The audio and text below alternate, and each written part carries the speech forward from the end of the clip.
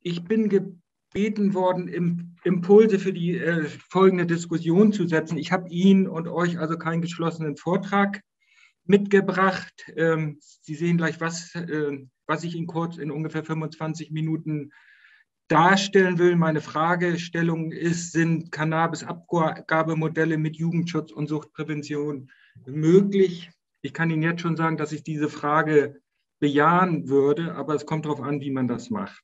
Und das äh, wird auch Aufgabe, denke ich, der Praxis und der Forschung und der Hilfe und der Politik sein, das in den nächsten Jahren zu diskutieren. Und bevor wir jetzt äh, darüber sprechen, welche Chancen die Regulierung äh, mit sich bringt, wollte ich Ihnen noch mal Ergebnisse aus einer Befragung, die mein Kollege Hermann Schlömer und ich vor fünf Jahren bei Fachkräften der Suchtprävention in NRW durchgeführt haben, ähm, nochmal mich darauf beziehen, ähm, wie von der von den Fachkräften sozusagen auch das Cannabis-Verbot hinsichtlich negativer Konsequenzen auf die Prävention ähm, eingeschätzt werden. Also auch darüber müssen wir ja auch sprechen, inwieweit überhaupt das Cannabis-Verbot mit dem Jugendschutz vereinbar ist. Und wir haben damals ähm, 110 Fachkräfte der Suchtprävention in NRW befragt. Wir hatten einen riesen Rücklauf von 94 und wir haben dann die Vor- und Nachteile des Cannabisverbotes äh,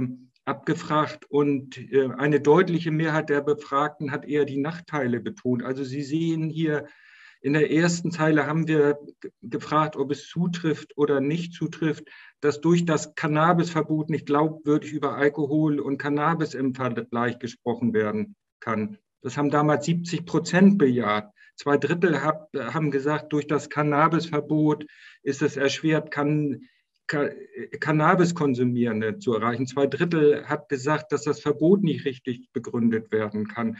Und Sie sehen die anderen Ergebnisse hier. Also auch in der Vergangenheit war das einfach aus Sicht der Praxis ein Problem, das Cannabis äh, verboten mit den Ansprüchen an Jugendschutz äh, in Einklang zu bringen. Ich schätze, wenn wir in Berlin diese Umfrage gemacht haben, wären die Ergebnisse nicht wesentlich anders ausgefallen. Und wir haben dann auch die Fachkräfte gefragt, dass sie sich, das war in 2017, also noch weit vor dem Koalitionsvertrag, das war nicht, ansatz, äh, nicht ansatzweise absehbar damals, nach unterschiedlichen Modellen, die sie präferiert haben. Und dann sehen Sie hier, dass 60, also sechs von zehn der Befragten schon vor fünf Jahren gesagt haben, dass sie aus präventiven äh, Gesichtspunkten eine regulierte Abgabe an Erwachsene befürworten. Das wollte ich einfach nochmal als Einstieg äh, sagen, dass wir, wenn wir über die Vorteile, Chancen und auch Grenzen des Jugendschutzes im Zusammenhang mit einer regulierten Abgabe sprechen, auch nicht vergessen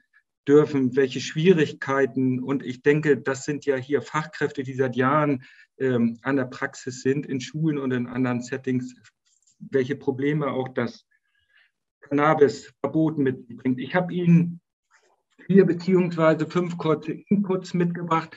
Ich wollte gleich insgesamt mal, ich bin ja auch äh, nicht nur Glücksspiel äh, äh, nee, oder Suchtpräventionsforscher, sondern auch äh, Politikwissenschaftler und wollte Ihnen gleich überhaupt mal was zum Koalitionsvertrag sagen und zur Umsetzung. Dann habe ich einige ganz prinzipielle Überlegungen zur Cannabisprävention mitgebracht, wollte ganz kurz mal streifen, wie das mit Abgabemodellen international aussieht und habe Ihnen erste Ergebnisse mitgebracht, welche Effekte die Legalisierung in Kanada und USA auf Jugendliche hat. Und ganz zum Schluss ein ganz kurzes Fazit. Das kennen Sie ja, glaube ich, alle, beziehungsweise das kann ich jetzt auch nochmal zitieren, vielleicht auch für die österreichischen und schweizerischen Kolleginnen oder die, die nicht so nah an der Politik sind. Also im Koalitionsvertrag der Ampel, der neuen Ampelregierung heißt das, wir führen die kontrollierte Abgabe von Cannabis an Erwachsenen zu Genusszwecken in lizenzierten Geschäften ein. Dadurch wird die Qualität kontrolliert, die Weitergabe verunreinigter Substanzen verhindert und der Jugendschutz gewährleistet. Das Gesetz evaluieren wir nach vier Jahren auf gesellschaftliche Auswirkungen. Also mich persönlich hat das überrascht. Ich hätte eher gedacht, die drei äh, Ampelfraktionen verständigen sich auf einen Modellversuch. Ich weiß nicht, wie Ihnen das ergangen ist. Ich war davon überrascht, dass da so weitgehende Äußerungen im Koalitionsvertrag sind. Und es wird ja hier in den Aussagen weiter überhaupt keine, ähm, keine Vorfestlegung auf das Abgabemodell an sich getroffen.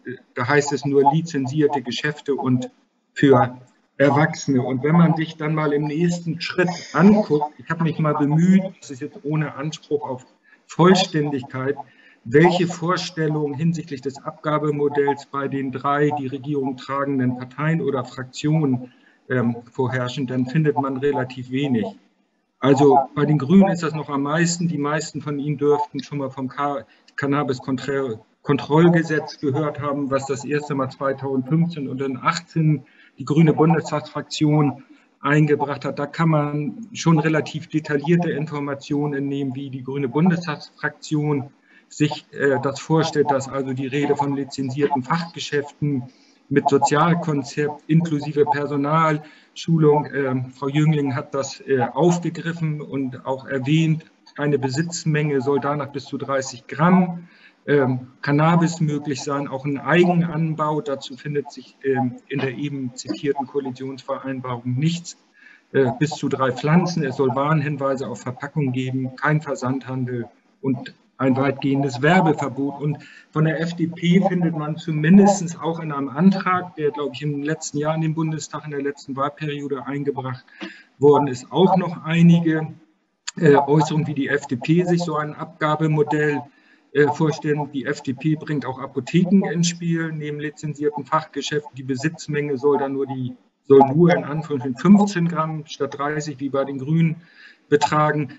Ähm, dann soll es eine äh, Festlegung des maximalen Gehalts von THC, das ist ja der berauschende Stoff im Cannabis, auf wissenschaftlicher Grundlage erfolgen und das auch vom Ausbau der Cannabisprävention die Regel. Von der SPD-Bundestagsfraktion habe ich gar nichts gefunden. Also ich wollte einfach noch mal sagen, ähm, dass das ein ganz langer Weg sein wird. Also überhaupt schon, dass diese drei Bundestagsfraktionen, das Gesundheitsministerium von Herrn Lauterbach ist da äh, federführend, überhaupt so ein Abgabemodell zu entwickeln. Und als zweites möchte ich sagen, was wir bei dieser ganzen Diskussion nicht vergessen dürfen, das BTM ist zustimmungspflichtig vom Bundesrat. So, und im Bundesrat gibt es nicht annähernd im Moment politische Verhältnisse, die sozusagen die Legalisierung einfach so durchwinken würden. Man braucht, das ist der Stand, das ist jetzt noch ohne Saarland, das ist kurz vor Weihnachten, man braucht dort im Bundesrat, um so eine Gesetzesinitiative des Bundestages dann auch zu, äh, zuzustimmen, 35 äh, Stimmen. Im Moment haben, wenn man auch Saarland da noch ähm, inkludiert, ähm, haben die, also die äh, Regierung, die ausschließlich aus Ampel äh, Parteien, beziehungsweise auch die Linken, davon gehe ich mal aus, dass dort, wo die Linken an der Regierung sind, wie in Berlin und Thüringen, dass die dem auch zustimmen würden, kommt man auf 24 Stimmen. So, wir haben noch drei Landtagswahlen dieses Jahr. Also man erreicht diese 35 nur, wenn es veränderte politische Verhältnisse sowohl in NRW als auch Niedersachsen gibt. Das muss man, das kommt mir viel zu kurz in dieser ganzen öffentlichen Diskussion. Das wird immer schon so getan, als ob die Legalisierung kurz der Haus, Haustür steht und deshalb das ein ganz langer Weg zu einem Abgabemodell werden. Erstens muss sich überhaupt die Ampelkoalition erstmal verständigen auf Eckpfeiler eines Abgabemodells. Dann braucht, brauchen die auch eine Zustimmung durch den Bundesrat. Da wird dann in der Regel auch noch in den entsprechenden Ausschüssen verhandelt. Und dann muss das Ganze noch auf Landesebene oder kommunal, äh, also kommunaler Ebene umgesetzt werden. Und das wäre also meine erste Botschaft für heute.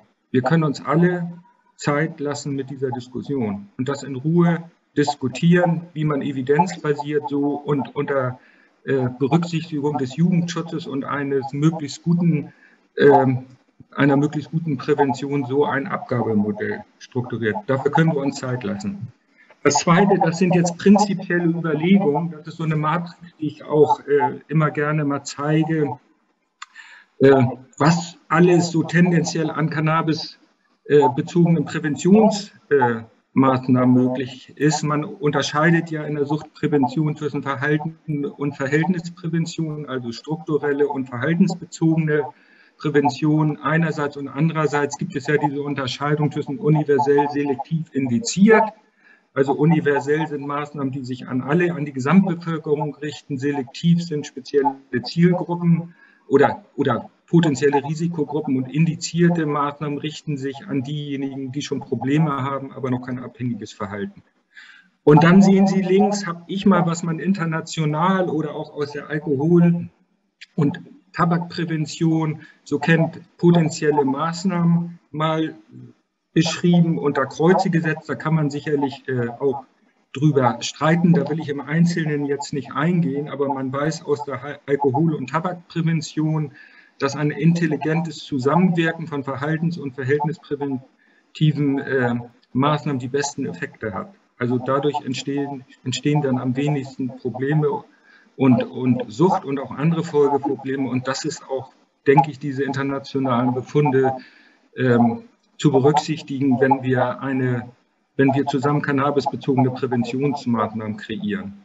Und die Verhältnisprävention spielt dabei eine große Rolle. Und ich habe nur mal exemplarisch, denn, deshalb sind hier zwei Dinge gemarkt, äh, mal eine verhältnispräventive Maßnahme und ähm, eine verhaltenspräventive Maßnahme gezeigt, wie differenziert das dann so sein kann. Also es wird mit Sicherheit um risikoärmere Produkte gehen, wenn man von einer vernünftigen Verhältnisprävention in dem Bereich äh, spricht. Wir müssen reden über eine Begrenzung des THC-Gehaltes. In der Schweiz laufen jetzt Modellversuche äh, an. Ähm, da wird es eine Begrenzung geben. In Uruguay sind das, glaube ich, bei Blüten 15 Prozent. Also sowas gibt es auch international, weil das ist der berauschende Stoff. Das ist so ähnlich, als wenn wir Promille äh, über Promille und äh, oder Alkohol oder äh, ja über Prozente in Alkohol sprechen, da weiß man auch, dass alkoholische Getränke an sich ein unterschiedliches äh, Risikopotenzial haben. Es geht auch darum, um ein vorgeschriebenes Mindestverhältnis zwischen THC und CBD. CBD ist das, was sediert, also eher beruhigt. Es geht um Produktinformation, es geht um kindersichere Verpackung und natürlich auch um die Qualität. Sie wissen, der Stoff jetzt äh, auf den Märkten ist gestreckt und verunreinigt und so weiter. In der Schweiz in dem Modellversuchen äh, gibt es den Standard nur Bio-Qualität. Also sowas, wenn wir über Gesundheit, äh, äh, Gesundheit und Prävention sprechen, müssen wir auch sprechen. Und eine Verhältnis- äh, oder verhaltenspräventive Geschichte Konsumkrebs, auch das hat äh, Frau Jüngling vorhin äh, gesagt, kontrollierter äh, Konsum, möglichst äh, Risiko äh, ungefährlich. Ähm, es gibt ähm, in Kanada entwickelt auch schon solche Tipps, solche Guidelines zum äh, möglichst risikoarmen ähm, Konsumieren von, von Cannabis. Ich will das jetzt nicht alles äh, vorlesen, aber da steht unter anderem drin, dass die Produkte möglichst geringen THC-Gehalt haben sollen. Das sehen Sie in der Ziffer 2 oder dass entsprechend auch ein entsprechendes Verhältnis zwischen THC und CBD herzustellen ist und auch äh, das Rauchen, also äh, der Joint mit Tabak sollte möglichst vermieden werden sollen, sondern es sollte verdammt werden. Also das ist einfach auch eine Chance, die Konsumenten dann, wenn ich äh, das kontrollierte, äh, wenn ich das kontrolliert mache, entsprechende Abgabemodelle haben zu switchen vom, vom, vom Rauchen zum Verdampfen. Das ist mein zweiter Impuls. Dann wollte ich Ihnen kurz was über Abgabemodelle international sagen. Das ist eine relativ äh, aktuelle Karte der Vereinigten Staaten. Also die dunkelgrün äh, gemarkten US-Bundesstaaten sind die, wo es in den letzten Jahren seit 2012, Colorado war der erste Staat, zu einer, zu einer äh, Legalisierung gekommen ist, meistens über Volksentscheide, teilweise aber auch über die ähm, Parlamente. Das sind insgesamt 15 und dann gibt es diesen Sonderfall mit Washington DC. Da ist, eine, da ist das nach wie vor verboten, aber der Konsum erlaubt. Also das ist sozusagen eine Entkriminalisierung.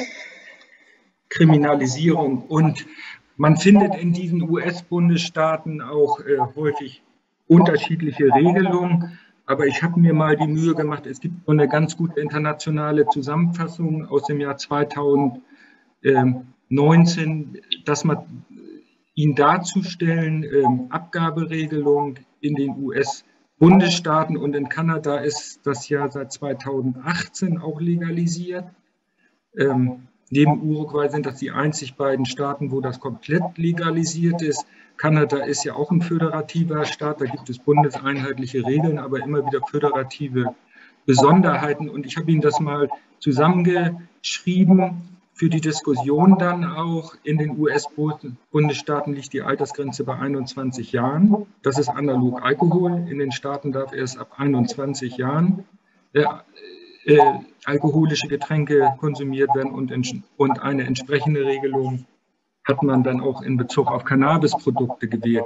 In Kanada sind das 19 Jahre. Die, die Besitzmenge beträgt, das ist immer berechnet ähm, an der Unze, das ist ja die Maßeinheit. Deshalb wundern Sie sich nicht über solche Mengenangaben wie 28 Gramm, aber das ist die Berechnungsgrundlage in der Regel. Es gibt da auch Sonderfälle, zeige ich Ihnen gleich nochmal, sind das 28 Gramm Cannabis als Besitzmenge, definiert nicht als Abgabemenge. Da muss man unterscheiden. Das ist auch eine interessante Diskussion dann auch für Sie, ob man Abgabemengen vorschreibt oder eher Besitzmengen oder beides. In, in Kanada sind das 30 Gramm. Konsum, konsumiert werden darf in der Regel nur zu Hause, in privaten Räumen oder im Garten. In, sowohl in diesen 15 US-Bundesstaaten als auch in Kanada ist der Eigenanbau erlaubt. Das ist ja in Deutschland eine offene Frage. In Kanada sind das vier Pflanzen. In den meisten US-Bundesstaaten sind das sechs, aber es gibt da auch ein paar Ausnahmen. Und hinsichtlich der Verkaufsstände, äh, Städten, auch darüber müssen wir uns ja unterhalten. In Deutschland sind das privat lizenzierte Geschäfte. In, den, in Kanada sind das teilweise auch staatliche, teilweise gibt es auch Hybride. Also das sind private und, und staatliche machen das zusammen und in Kanada ist auch der Online-Verkauf erlaubt. Auch das ist eine offene Frage in Deutschland und ich habe Ihnen hier nochmal ganz kurz eben auch nochmal so ein paar Ausnahmen ähm, mitgebracht. Das ist also teilweise sehr vielfältig. Sie sehen dann in Maine sind das dann plötzlich 71 Gramm Besitzmenge. Das ist auch wieder eine schräge Zahl, aber ist, glaube ich, äh, eine Unze mal 2,5 berechnet. Und in, ähm, in äh, Alberta und ähm, Ontario gibt es dann die Möglichkeit, auch in den Tabakrauchzonen, also auch öffentlich an Bahnhöfen und so weiter, auch Cannabis zu rauchen. Also man findet neben relativ einheitlichen Regelungen dann auch immer wieder föderale Abweichungen. Und das ist ja auch noch eine Diskussion in Deutschland, inwiefern es dann föderale Besonderheiten gibt. Ganz kurz noch zu Uruguay. Ähm, wir haben das ja 2013 äh, äh, legalisiert. Das hat Jahre äh gedauert, also in Bezug auf die Umsetzung. Ich finde das Modell nicht uninteressant. Es gibt, das ähm, steht im Prinzip auf drei äh, Säulen. Einmal gibt es die Möglichkeit, in Apotheken Cannabis zu erwerben. Dann gibt es die Möglichkeit, sogenannte Cannabiszucht zu gründen und da zusammen anzubauen und zu konsumieren. Und dann sind auch äh, bis zu sechs Pflanzen Eigenanbau zulässig. Und in Uruguay, das finde ich jetzt äh, suchtpräventionspolitisch sehr interessant, ging die Legalisierung äh, von Cannabis einher mit Restriktionen beim Alkohol. Also da haben sie gleichzeitig extreme Werbebeschränkungen in Bezug auf Alkohol gemacht, um da sozusagen gleiche Standards zu haben. Das finde ich äh, ähm, Sucht, Sucht und drogenpolitisch einen sehr, sehr interessanten Standard.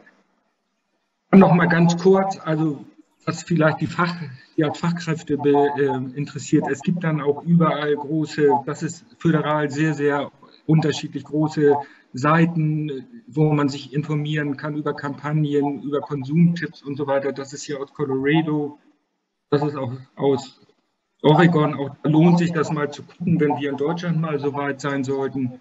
Und es gibt dann auch solche öffentlichen Kampagnen. Ich wollte Ihnen das nur mal ausschnittsweise zeigen. Wenn Sie da mal auf Englisch ein bisschen rumgoogeln, dann finden Sie massenhaft. Also es ist wirklich, das ist auch gerade dieser Bereich mit öffentlichen Kampagnen und Konsumtipps und so, das ist eben von Bundesland zu Bundesland sehr unterschiedlich. Da gibt es auch kaum einheitliche Vorgaben. Dann habe ich Sie besonders interessiert, was mitgebracht an Studien zu den Effekten äh, auf Jugendliche. Ähm, man weiß da noch relativ wenig. Ne? Sowas zeigt sich ja auch oft im Langzeitverlauf, deshalb kann das nur eine Momentaufnahme sein. Und zuerst betrachten wir uns mal hier die Konsumprävalenzen für Erwachsene aus den USA und dann sehen Sie, auch das ist jetzt keine Überraschung. Das war zu erwarten, dass bei den Erwachsenen die Prävalenzen leicht hochgehen. Ne? Cannabiskonsum letzter Monat sehen Sie gut 5% vor und das sind 7, 8% nach der Legalisierung.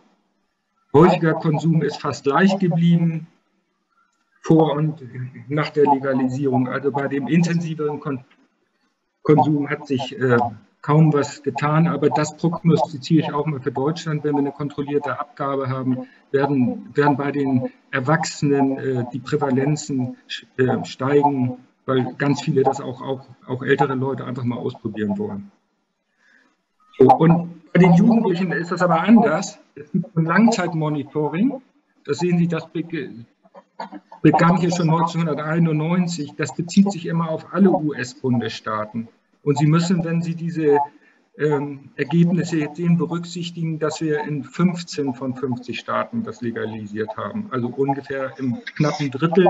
Aber trotzdem werden immer alle Jugendlichen betrachtet, weil die da ja auch mal hinfahren. Und die werden dann gefragt. Ne? Die kommen dann mal nach Colorado aus einem Staat, wo das verboten ist. Deshalb hat das auch eine gewisse Sinnhaftigkeit, äh, insgesamt die US-amerikanischen Jugendlichen zu betrachten. Und dann sehen Sie, ab zwölf fing das in Colorado an. Und dann sehen Sie, dass das im Großen und Ganzen erstmal gleich geblieben ist, kein Anstieg bei Jugendlichen. Und seit 2020, das ist mit Sicherheit auch ein Effekt der Pandemie, der Lockdowns und so weiter, geht das runter. Aber es ist nicht angestiegen bei den Jugendlichen. Und in Kanada sehen Sie nämlich so etwas Ähnliches. Das sind hier nochmal die Erwachsenen. Die Älteren, da sehen Sie auch, hier in Kanada auch zu erwarten, dass die Konsumprävalenzen nach der Legalisierung äh, gestiegen sind, aber bei den Jugendlichen geht das runter. Konsum letzte drei Monate, Jugendliche 15 bis 17 Jahre, vor der Legalisierung 20 Prozent und das hat sich halbiert auf 10. Also das sind so interessante Effekte, ist auch für die Diskussion. Also bei den Erwachsenen geht das hoch, nicht der intensive Konsum, aber insgesamt ist auch zu erwarten. Und bei den Jugendlichen geht das runter. Vielleicht hat das was mit äh, damit zu tun, dass der Reiz des Verbotenen verloren geht. Vielleicht damit, dass sie wissen, dass sie ab 18 so und so das legal konsumieren dürfen. Dann ist einfach der Reiz weg.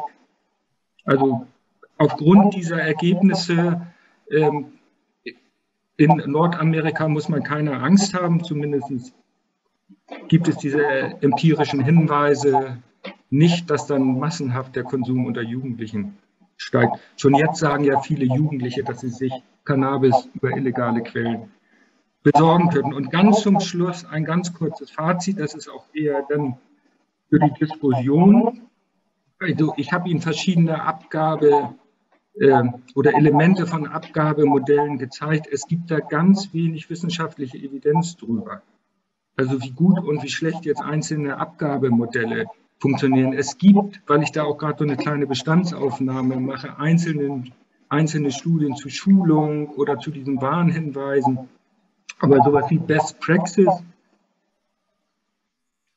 dazu kann man bisher keine Aussage machen und ich bin Forscher und sage, deshalb musste sowas gefördert werden, um solche Erkenntnisse zu haben. Wir haben da keine Vorlage bisher äh, aus den Abgabemodellen welt, weltweit. Äh, man kann sich, sollte sich grob, das sagte ich ja, orientieren an den Erkenntnissen aus der Alkohol- und Tabakprävention und der intelligente Mischung aus verhaltens- und verhältnispräventiven Elementen wählen.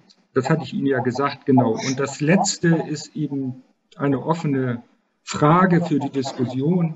Dazu können wir uns alle ganz viel Zeit nehmen, weil, wie gesagt, ich sehe nicht, dass wir in den nächsten zwei Jahren, sage ich mal, zu einer Legalisierung in Deutschland kommen. Wie könnte ein Abgabemodell für Deutschland aussehen, das den Jugendschutz und die Suchtprävention bestmöglichst berücksichtigt?